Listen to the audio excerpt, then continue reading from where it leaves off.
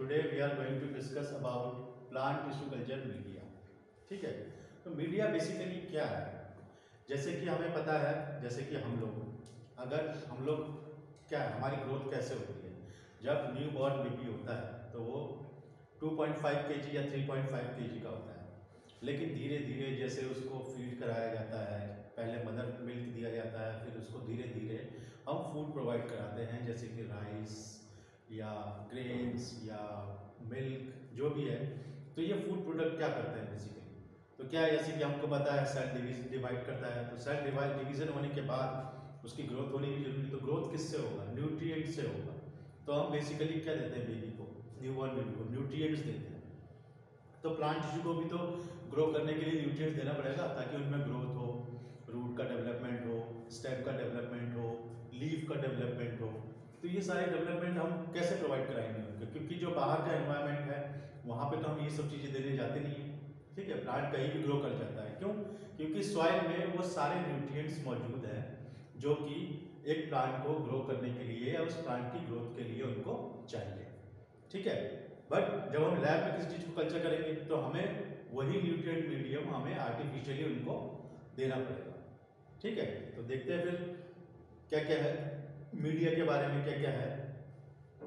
तो culture media क्या है? Culture media large largely responsible for in vitro growth and morphogenesis of plant tissues तो in vitro growth और उसके morphogenesis के लिए रेस्पॉन्सिबल होता है, ये जो है मीडिया ठीक है?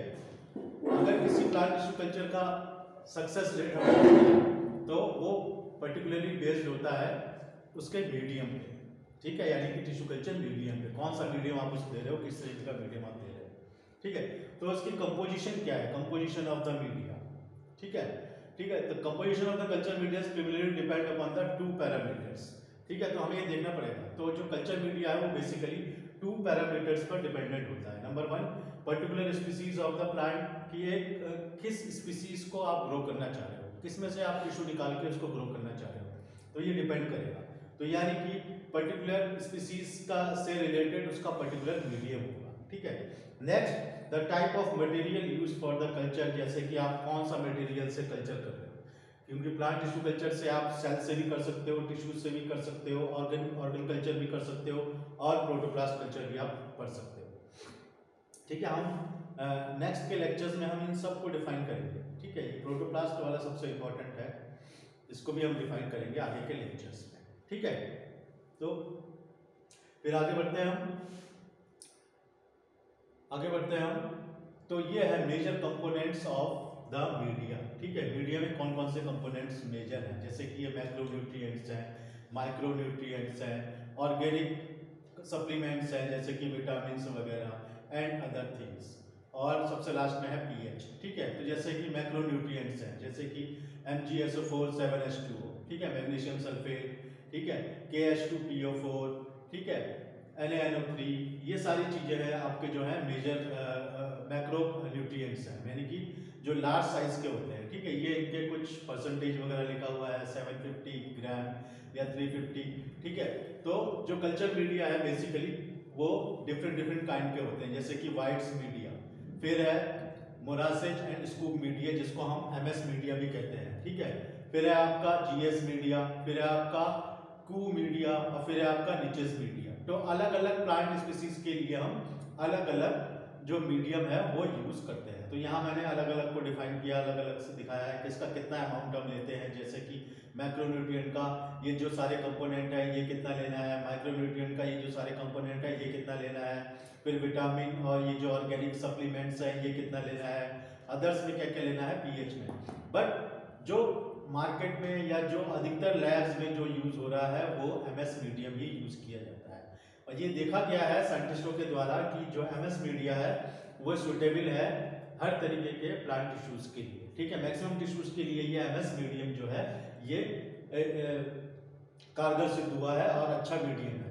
तो हमें सबसे बड़ी चीज़ की जब हम मीडियम बना लेंगे तो सबसे पहले हमें ध्यान रखना है पीएच का। जैसे कि यह एम मीडिया का जो पीएच होना चाहिए, वो 5.8 होना चाहिए। अलग अलग दे रखा है। जैसे कि वाइट्स मीडिया है 5.5 जैसे कि ये जीएस मीडिया है, ठीक है 5.5 इस तरीके से अलग अलग दिया हुआ है। बट हमें अगर एम एस मीडियम बनाना है तो हमें उसका पीएच कितना रखना पड़ेगा? 5.8 जैसे कि हमारे फ़ूड में क्या क्या होना चाहिए? प्रोटीन होना चाहिए विटामिन होना चाहिए, ठीक है मिनरल्स होने चाहिए। तो ऐसे ही, तभी तो हमारी ग्रोथ प्रॉपर ग्रोथ होगी। हमारे बॉडी की जो सेल्स हैं, वो प्रॉपर ग्रो करेंगे। ठीक उसी तरीके से हर एक कंपोनेंट का यहाँ पे जो भी दिया है, चाहे वो मैक्रोन्यूट्रिएंट हो माइक्रोन्यूट्रिएंट हो ऑर्गेनिक सप्लीमेंट्स हो, इनका अपना अपना रोल है सेल्स के अंदर, जो कि ग्रोथ में हेल्प करते हैं। ठीक है? क्लियर फिर आगे बढ़ते हैं हम। ठीक है? अब देखो मार्केट में दो तरीके के, या हम कह सकते हैं लैब में दो तरीके के मीडियम यूज़ होते हैं, एक सिंथेटिक मीडिया और एक नेचुरल मीडिया सिंथेटिक मीडिया क्या है? जो कि केमिकली डिफाइंड कंपोनेंट्स होते हैं। सिंथेटिक मीडिया क्या होते हैं? केमिकली डिफाइंड कंपोनेंट्स होते हैं। Synthetic media are chemically defined यानी कि जो केमिकल से बने जैसे कि मैंने अभी लास्ट में आपको दिखाया लास्ट स्लाइड में, कि जो मैक्रोन्यूट्रिएंट्स हैं माइक्रोन्यूट्रिएंट्स हैं वो बेसिकली क्या है? सिंथेटिक मीडिया है। क्या है वो? सिंथेटिक मीडिया जो कि केमिकल्स से फॉर्म किए जाते हैं। ठीक है?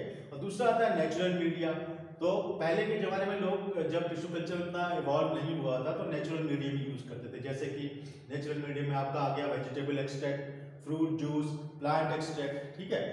ऐसे ही आप देख लो, जो लोग गाँव के रहने वाले हैं, उनको अच्छे से पता है कि ये जितने भी वेजिटेबल एक्सट्रैक्ट होते हैं, या प्लांट एक्सट्रैक्ट होते हैं तो क्या करते हैं? ये इसका, इसको खाद बनाने के लिए भी यूज़ किया जाता है। जैसे गाँव में जो लोग रहते हैं, उनको पता है। एक गड्ढा बनाया जाता है, उसमें ये वेजिटेबल एक्सट्रैक्ट जो निकले रोज के डेली यूज़ के जो फ्रूट एक्सट्रैक्ट है जो निकले, उनको वहाँ डाल दिया, फिर उसको हमने ग्रोथ के लिए क्या कर दिया, उसको फिर काफ़ी दिनों के लिए छोड़ दिया, फिर उसके बाद क्या कहते हैं, उसको हम, उसको जो है फार्मर्स क्या है, खाद की तरह यूज़ करते हैं तो वो भी ग्रोथ में हेल्प करता है। ठीक वैसे ही यहाँ पे जो नेचुरल मीडियम है, वो हम इन सब चीज़ों से बना सकते हैं, जैसे कि vegetable extract fruit juice and plant extract ठीक है? अब ये जो सिंथेटिक मीडिया है, इसको हम रिप्लेस कर सकते हैं with the help of natural media तो सिंथेटिक मीडिया को हम चेंज कर सकते हैं नेचुरल मीडिया से। ठीक है? बस ग्रोथ का रेट का थोड़ा बहुत डिफरेंस होगा अदरवाइज़ दोनों ही मीडिया वर्क करता है। ठीक है? देखते हैं आगे। तो अब कॉन्स्टिट्यूएंट्स ऑफ़ मीडिया क्या क्या है? ठीक है? जैसे कि many elements needed for plant nutrition and their physiological function ये जितने भी कंपोनेंट्स हैं, ये भी बताएँगे हम नाइट्रोजन कैल्शियम ये सारी चीज़ें जो है, ये फ़िज़िकल फिजियोलॉजिकल फ़ंक्शंस में हेल्प करते हैं। जैसे कि हमारे मसल्स में क्या होते हैं? प्रोटीन्स होते हैं बेसिकली हमारी बोन्स में क्या होती है? कैल्शियम होती है। तो कैल्शियम की प्रॉपर मात्रा में अगर हमारे बॉडी में जाता रहेगा तो क्या होगा? हमारे जो बोन्स हैं वो मज़बूत होंगे, हमारे जो टीथ हैं वो मज़बूत होंगे। प्रोटीन की मात्रा जाएगी तो हमारे मसल जो है वो हार्ड होंगे, उस मज़बूत होंगे, जिससे हम रनिंग भी कर सकते हैं, हम एक्सरसाइज भी कर सकते हैं। ठीक है? ठीक उसी तरीके से ये सारी चीज़ें भी इनका क्या करता है? एक तरीके से बिल्डिंग ब्लॉक का काम करता है। क्या काम करता है? ये बिल्डिंग ब्लॉक का। तो अब जैसे ये है नाइट्रोजन कैल्शियम ठीक है? मैग्नीशियम पोटेशियम इनका अलग अलग रोल है। जैसे कि nitrogen essential component for protein nucleic acid and सबको एंजाइम ठीक है? नाइट्रोजन आपको पता है न्यूक्लिक एसिड में क्या होता है? न्यूक्लिक एसिड मतलब डीएनए और आरएनए तो डीएनए में क्या होता है? न्यूक्लियोटाइड बेस होते हैं। न्यूक्लियोटाइड बेस कौन से होते हैं? नाइट्रोजनस बेसिस होते हैं। तो उसमें नाइट्रोजन की इन्वॉल्वमेंट है। तो न्यूक्लिक एसिड के लिए बहुत इंपॉर्टेंट है। प्रोटीन के फॉर्मेशन के लिए नाइट्रोजन बहुत इंपॉर्टेंट है। Calcium synthesis for cell wall जो आपने टिश्यू कल्चर किया सेल वॉल की सिंथेसिस में कौन रेस्पॉन्सिबल है? कैल्शियम कौन कैल्शियम मेम्ब्रेन का सेल मेम्ब्रेन के फ़ंक्शन के लिए भी कैल्शियम यूज़ है। सेल सिग्नलिंग में भी कैल्शियम यूज़ होता है। ठीक है? फिर मैग्नीशियम कंपोनेंट ऑफ़ क्लोरोफिल जैसा कि आपको पता है जो फोटोसिंथेसिस है वो आ, क्या कहते हैं ग्रीन पार्ट में पाया जाता है यानी क्लोरोप्लास्ट में। तो क्लोरोफिल के फॉर्मेशन में कंपोजिशन में मैग्नीशियम का इन्वॉल्वमेंट होता है। और ये क्वेश्चन एग्ज़ाम में आता भी है कि सेल में वो कौन सा मेटल है जो प्रेजेंट होता है। तो मेटल कौन सा प्रेजेंट होता है? मैग्नीशियम कौन सा प्रेजेंट होता है? मैग्नीशियम ठीक है? ये टैट और जो एग्ज़ाम आप लोग देते हैं बच्चे बी एड वी एड का के लिए। उसमें ये क्वेश्चन कई बार पूछा गया है कि सेल में कौन सा ऐसा कंपोनेंट होता है जो मेटल होता है? तो वो मैग्नीशियम होता है। कहाँ प्रेजेंट होता है? क्लोरोफिल में। कहाँ प्रेजेंट होता है? क्लोरोफिल में प्लांट के अंदर। ठीक है? पोटेशियम मेजर इनऑर्गेनिक जो है कंपोनेंट होता है ये। ठीक है? ऑस्मोटिक पोटेंशियल के लिए रेस्पॉन्सिबल होता है पोटेशियम जैसे कि हम अभी आगे पढ़ेंगे जब वो ऑस्मोसिस होती है, उसमें ट्रांसपायरेशन ट्रांसपायरेशन में क्या होता है? जो स्टोमेटल पोर्स होते हैं, वो ओपन होते हैं दिन में और रात में क्लोज हो जाते हैं। उन्हीं पोर्स से ही जो वाटर का, जो वाटर है, वो रिमूव आउट होता है बाहर एनवायरनमेंट में और इस प्रोसेस को ट्रांसपायरेशन कहते हैं। तो ट्रांसपायरेशन में जो स्टोमेटा ओपनिंग एंड क्लोजिंग है, उसमें पोटेशियम का बहुत इंपॉर्टेंट रोल होता है। अगर पोटेशियम आयंस का रोल नहीं होगा तो स्टोमेटा कभी ओपन होगा नहीं। स्टोमेटा ओपन नहीं होगा तो ट्रांसपायरेशन नहीं होगा। और ट्रांसपायरेशन नहीं होगा तो इतना वाटर थोड़ी ना चाहिए होता है प्लांट को। प्लांट अगर 100 परसेंट वाटर एब्जॉर्ब करता है सॉइल से तो केवल एक परसेंट यूज़ करता है वो फोटोसिंथेसिस के लिए। और 99 परसेंट वाटर जो होता है वो ट्रांसपायरेशन के थ्रू दोबारा एनवायरनमेंट में चला जाता है। तो वो जो वाटर रिमूवल है, वो स्टोमेटा के थ्रू होता है। और स्टोमेटा जो है लाइट की प्रेजेंस में, यानी कि दिन में ओपन होता है। तो वो उसके लिए पोटेशियम आयन जो है, वो रिस्पॉन्सिबल होता है। ठीक है फॉस्फोरस फॉस्फोरस आपको पता है पेंटो शुगर होता है हमारे यहाँ फॉस्फेट ग्रुप होता है डीएनए में। तो न्यूक्लिक एसिड के फॉर्मेशन में, यानी कि डीएनए और क्रोमोसोम के फॉर्मेशन में फॉस्फोरस का बहुत इंपॉर्टेंट रोल होता है। आपको पता है डीएनए तीन चीज़ों से मिलकर बना होता है नाइट्रोजिनस बेस पेंटोज शुगर और फॉस्फेट ग्रुप फॉस्फेट ग्रुप में क्या होता है? फॉस्फोरस होता है। तो सबसे इंपॉर्टेंट रोल डीएनए के फॉर्मेशन में। ठीक है सल्फ़र सल्फ़र किस लिए यूज़ होता है? अमीनो एसिड के फॉर्मेशन में, जैसे मिथियोनिन साइटोसिन सीरीन ठीक है? इन सारी चीज़ों को बनाने के लिए सल्फ़र का यूज़ होता है। तो प्रोटीन सिंथेसिस में सल्फ़र का यूज़ होता है, ठीक है? तो सल्फ़र किसका कंपोनेंट है? प्रोटीन का और नाइट्रोजन किसका कंपोनेंट है? डीएनए का, ठीक है? क्लियर फिर आपका आता है मैग्नीज ठीक है? ये को फैक्टर होता है सर्टेन एंजाइम्स का, यानी कि किसी एंजाइम के साथ ही फंक्शनेबल होगा। आयरन ये साइटोक्रोम के फॉर्मेशन में यूज़ होता है। साइटोक्रोम को क्या होते हैं? साइटोक्रोम होते हैं प्लांट के हार्मोन्स ग्रोथ हार्मोन्स ठीक है साइटोक्रोम्स तो उनके फॉर्मेशन में भी इनका रोल होता है। किसका? आयरन का। ठीक है? ठीक है क्लियर साइटोक्रोम्स के फॉर्मेशन में भी। क्लोरीन का क्या है? Participate in photo photosynthesis photosynthesis reaction जब आप पढ़ोगे लाइट रिएक्शन और डार्क रिएक्शन तो उसमें आपको दिखेगा क्लोरीन का इंपॉर्टेंट क्या है। कॉपर कॉपर क्या होता है? ये जो है इलेक्ट्रॉन ट्रांसफ़र में यूज़ होता है। जो सेल टू सेल इलेक्ट्रॉन का ट्रांसफ़र होता है। सेल टू सेल जो इलेक्ट्रॉन का मूवमेंट होता है, उसमें बहुत इंपॉर्टेंट रोल होता है कॉपर का। फिर cobalt component of vitamin B twelve ठीक है? विटामिन बी ट्वेल्व का कंपोनेंट है कोबाल्ट ठीक है? जो कि इंपॉर्टेंट है प्लांट के लिए। फिर आता है मॉलबीडेनम मॉलबीडेनम भी क्या होता है? सर्टेन एंजाइम्स होते हैं, जो कि नाइट्रेट रिडक्टेज होता है, ठीक है? कोफैक्टर होता है सम एंजाइम्स का। और जिंक जिंक का आपको पता ही है, ये क्लोरोफिल बायोसिंथेसिस में यूज़ होता है। तो जो क्लोरोफिल का बायोसिंथेसिस होता है, उसमें जिंक का बहुत इंपॉर्टेंट रोल होता है। तो ये लिस्ट बहुत इंपॉर्टेंट है आपके एग्ज़ाम के पॉइंट ऑफ़ व्यू से। इसको आप याद कर लेंगे नोट कर लेंगे अच्छे से। ठीक है? तो आगे बढ़ते हम। ठीक है? तो अब the culture media usually contain the following constituents कौन कौन से मेन मेन कंपोनेंट्स होते हैं? तो सबसे पहले आया था आपका inorganic nutrients number two carbon and energy sources carbon का बहुत इंपॉर्टेंट रोल है, ठीक है? फिर ऑर्गेनिक सप्लीमेंट्स फिर ग्रोथ रेगुलेटर्स का बहुत इंपॉर्टेंट रोल है, ठीक है? अभी आगे देखेंगे हम। फिर सॉलिडिफाइंग एजेंट और फिर pH medium pH of the medium solidifying agent कौन सा है? मीडियम को सॉलिड कौन बनाता है? ठीक है? सॉलिड मीडिया कैसे बनाते हैं? लिक्विड मीडिया से सॉलिड मीडियम कैसे बनाते हैं? तो सॉलिडिफाइंग एजेंट कौन सा यूज़ करेंगे? और पीएच कितना होना चाहिए? कैसे मेंटेन करेंगे? वो अभी हम आगे देखेंगे। ठीक है? फिर इसमें सबसे इंपॉर्टेंट चीज़ होती है एंटीबायोटिक्स ठीक है?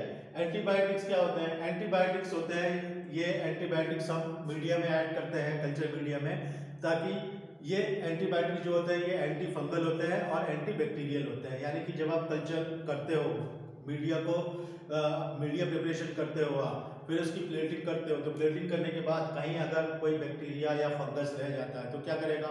वो मीडिया के अंदर अपनी कॉलोनीज डेवलप करना शुरू कर देगा। तो अगर हम एंटीबायोटिक्स यूज़ करेंगे एंटी फंगल या एंटी बैक्टीरियल तो ये चांसेस खत्म हो जाते हैं कि कोई भी माइक्रोब्स की कॉलोनीज उसमें डेवलप हो सके। ठीक है? तो इसमें एक ध्यान देने वाली बात ये है कि जो लो कंसेंट्रेशन ऑफ़ जैसे कि हम यूज़ करते हैं स्टेप्टोमाइसिन या फिर कैनामाइसिन ये दो जो है, हम एंटीबायोटिक्स यूज़ करते हैं ज़्यादातर टिश्यू कल्चर में स्ट्रेप्टोमाइसिन और कैनामाइसिन चाहे प्लांट टिश्यू कल्चर हो, चाहे एनिमल टिश्यू कल्चर हो, ये दोनों एंटीबायोटिक्स हम दोनों में यूज़ कर सकते हैं। ठीक है? और इनका जो लो कंसंट्रेशन यूज़ होता है, कितना? लो कंसंट्रेशन यूज़ होता है इसका। हमें कोई ज़्यादा अमाउंट नहीं लेना है इसका। ठीक है? इसकी बहुत छोटी सी मात्रा जो है, काफ़ी होती है किसी भी फंगस को या फिर किसी भी बैक्टीरिया को किल करने के लिए, जो मीडिया से हटाने के लिए। क्लियर तो हम आगे देखते हैं, आगे और क्या क्या चीज़ें ज़रूरी हैं। सबसे इंपॉर्टेंट है इसमें ग्रोथ रेगुलेटर्स ठीक है?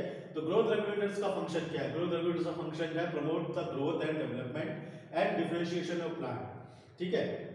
इन ग्रोथ रेगुलेटर्स से इंपॉर्टेंट क्या है कि ये ग्रोथ को प्रमोट करेंगे डेवलपमेंट करेंगे, ठीक है? प्लांट की हाइट बढ़ाने में, चौड़ाई, लंबाई, चौड़ाई बढ़ाने में यूज़ करेंगे इसको हेल्प करते हैं और डिफ्रेंशिएशन में। जैसे कि जब आप टिश्यू कल्चर अब यहाँ आप पढ़ेंगे आगे, किस तरीके से करते हैं, जब कैलस फॉर्मेशन हो जाता है। तो कैलस फॉर्मेशन के बाद उसमें सेल डिफ्रेंशिएशन होता है, यानी कि कुछ सेल्स रूट बनाएँगे, कुछ सेल्स स्टेम बनाएँगे। तो उस टाइप में जो डिफ्रेंशिएशन होगा, वो इन्हीं जो है ग्रोथ रेगुलेटर्स की वजह से ही होगा। ये जो ग्रोथ रेगुलेटर्स है, इनकी वजह से होगा, ये और जो ग्रोथ रेगुलेटर्स है, वो मैक्सिमम फोर टाइप्स के होते हैं auxin cytokinin gibberellin and abscisic acid जिसको हम एबीए भी कहते हैं। क्या कहते हैं? एबीए तो ये चार इंपॉर्टेंट ग्रोथ रेगुलेटर्स हैं, जो कि प्लांट की ग्रोथ में हेल्प करते हैं। ठीक है? तो अब एक एक का रोल समझ लेते हैं, जैसे कि ऑक्सिन ठीक है ऑक्सिन क्या करेगा? इसका फ़ंक्शन क्या है? Auxin induce the cell division cell elongation and formation of callus in culture तो ऑक्सीजन का इंपॉर्टेंट रोल है सेल डिवीज़न में। अगर सेल डिवाइड नहीं करेंगे तो नए सेल नहीं बनेंगे। नए सेल नहीं बनेंगे तो सेल की ग्रोथ कैसे होगी? तो बहुत इंपॉर्टेंट रोल है सेल डिवीज़न में। सेल के इलांगेशन में। इलांगेशन का मतलब सेल की लेंथ को बढ़ाने में। जो हम छोटा सा पौधा लगाते हैं, फिर हम देखते हैं धीरे धीरे धीरे धीरे वो बड़ा होता जा रहा है। तो कैसे हो रहा है? वो because of the oxygen cell के इलांगेशन के लिए। ठीक है? और formation of the callus callus नहीं बनेगा तो न्यू प्लांटलेट कहाँ से बनेगा? तो बहुत इंपॉर्टेंट है। इसमें ध्यान देने वाली बात यह है कि जो लो कंसंट्रेशन होगा, अगर हम ऑक्सीजन का लो कंसंट्रेशन लेंगे तो वो रूट फॉर्मेशन को प्रमोट करता है। और जो हाई कंसंट्रेशन हमें लेना है तो कैलस फॉर्मेशन को प्रमोट करेगा। तो अगर हमें कैलस फॉर्म करना है पहले तो हम इसका हाई कंसंट्रेशन कंसंट्रेशन लेंगे। और जब कैलस बन जाएगा, फिर उसमें डिफ्रेंशिएशन हो जाएगा। अब हमें चाहिए कि रूट बने जल्दी से जल्दी। तब हम इसका लो कंसंट्रेशन लेंगे। कितना कंसंट्रेशन लेंगे? लो कंसंट्रेशन तो बहुत इंपॉर्टेंट पॉइंट है कि जब हम ऑक्सीजन का लो कंसंट्रेशन लेते हैं तो वो रूट फॉर्मेशन में हेल्प करता है, और जब हाई कंसंट्रेशन लेता है तो वो कैलस के फॉर्मेशन में हेल्प करता है। ठीक है? जैसे कि आप यहाँ देख रहे हैं। तो जो जो इम्पोर्टेंट ऑक्सीजन है वो ये है I A A indole acetic acid I B A indole three butyric acid फिर एन ए ए ठीक है? वन नेफ्थाइल एसिटिक एसिड ठीक है? टू फोर डी बहुत यूज़ होता है ये two four D two four dichlorophenoxy acetic acid two four D बहुत इंपॉर्टेंट है, जो एग्ज़ाम में ज़्यादातर पूछा जाता है कि इनमें से कौन सा ऑक्सीजन है? तो आंसर में आपका आएगा टू फोर डी तो I A A I B A N A A two four D N O A नोवा ये सारी चीज़ें यूज़ होती हैं बट मैक्सिमम लैब्स में या तो टू फोर डी यूज़ करेंगे या फिर I A A indole three acetic acid ज़्यादातर यूज़ किया जाता है प्लांट टिश्यू कल्चर में, ठीक है? तो ये तो बात हो गई ऑक्सीजन की। अब बात करेंगे हम साइटोकाइन की। साइटोकाइन क्या है? ये केमिकली जो है, ये जो साइटोकाइन होते हैं, ये प्यूरिन्स के डेरिवेटिव्स होते हैं, ठीक है? जैसे आपको पता है, जो डीएनए होता है, वो दो चीज़ों से मिलकर प्यूरिन्स एंड पायरिमिडीन्स ठीक है? तो ये जो साइटोकाइन है, ये बेसिकली प्यूरिन का डेरिवेटिव होता है, ठीक है? नेमली एडिनिन जो कि हम पता है एडिनिन और ग्वानिन होता है प्यूरिन और थाइमिन और साइटोसिन क्या होता है? पायरिमिडीन तो एडिनिन का पार्ट होता है साइटोकाइनिन इसलिए देखो, इसके लास्ट में एन आई एन आ रहा है, ठीक है? यानी कि ये एडिनिन का पार्ट है। किसका पार्ट है? किसका डेरिवेटिव है? एडिनिन का। एडिनिन क्या है? प्यूरिन है। क्या है? प्यूरिन इसका फ़ंक्शन क्या है? ये भी सेल डिवीज़न में हेल्प करेगा और शूट डिफरेंशिएशन में हेल्प करता है। शूट का मतलब स्टेम के डिफरेंशिएशन में कि एक स्टेम से कितनी ब्रांचेज निकलेंगी। लेफ़्ट में राइट में कितनी ब्रांचेज निकलेंगी, ये कौन डिसाइड करेगा? साइटोकाइन ठीक है? और सोमेटिक एम्ब्रियो फॉर्मेशन में भी ये साइटोकाइन हेल्प करता है। ठीक है? और क्या करता है cytokine cytokine promote RNA synthesis ठीक है? आरएनए सिंथेसिस को प्रमोट करेगा। And thus stimulates protein and enzyme activities in tissues ठीक है तो आपको central dogma of molecular biology पता है डीएनए से एमआरएनए बनता है और एमआरएनए से प्रोटीन का फॉर्मेशन होता है। डीएनए से एमआरएनए बनने को क्या कहते हैं? ट्रांसक्रिप्शन और एमआरएनए से प्रोटीन बनने को क्या कहते हैं? ट्रांसलेशन तो ये क्या कर रहा है बेसिकली आरएनए की सिंथेसिस को प्रमोट कर रहा है। तो जितना ज़्यादा आरएनए बनेगा, उतने ही ज़्यादा प्रोटीन बनेंगे और जितनी ज़्यादा प्रोटीन होगी प्लांट की ग्रोथ उतनी ज़्यादा होगी। तो और ये दर है लिस्ट हमारे पास एक साइटोकाइन की, जैसे बी ए पी ठीक है? Benzyl aminopurine six benzyl aminopurine back B A benzyl adenine ठीक है? टू आई पी या आई पी ए भी कहते हैं इसको, ठीक है? D P U gelatin zeatin तो ये सारे जो है साइटोकाइन हम यूज़ कर सकते हैं। इसमें सबसे ज़्यादा जो यूज़ होने वाला साइटोकाइन है, वो बीएपी है, यानी कि सिक्स बेंजाइल अमीनोप्यूरिन को ज़्यादातर यूज़ किया जाता है मीडियम ठीक है? तो ये लिस्ट है, आप देख रहे हैं ग्रोथ रेगुलेटर्स की। इसमें से टिश्यू के अकॉर्डिंग जो भी चाहिए होता है, वो हम इसमें से यूज़ कर लेते हैं। ठीक है? टिश्यू के अकॉर्डिंग। टिश्यू कैसा है? सेल कैसा है? ठीक है? आगे देखते हैं ये आप थोड़ा सा बात कर लेते हैं जिब्बरलिंस की और एबीए की। जिब्बरलिंस क्या करता है? ट्वेंटी डिफरेंट काइंड्स के जिब्बरलिंस पाए जाते हैं ग्रोथ रेगुलेटर्स ठीक है? इसमें जो सबसे ज़्यादा यूज़ होने वाला जिब्बरलिंस है, वो जीए थ्री है। कौन सा है? जीए थ्री जो कॉमनली यूज़ होता है टिश्यू कल्चर में जीए थ्री अब जीए थ्री क्या करता है? GA three promotes growth of cultured cells and enhance callus growth ठीक है? ये कैलस की ग्रोथ को एनहांस करेगा और डॉफनेस को रिड्यूस करेगा। यानी कि प्लांट जो प्लांट छोटे रह जाते हैं तो वो डॉफ हो गया। ठीक है? तो डॉफ ना रहे, वो टॉल हो जाए, ये कौन देखेगा? जिब्बल लिंक्स उसको कंसिडर करेगा। ठीक है? तो जिब्बल लिंक्स जो मैक्सिमम यूज़ होने वाला कौन सा है? जी थ्री अब बात कर लेते हैं एबीए की। यानी कि एब्सिसिक एसिड। ये कैलस ग्रोथ के, को स्टिमुलेट करेगा, ठीक है? और इनिबिटेड बाय एबीए ठीक है?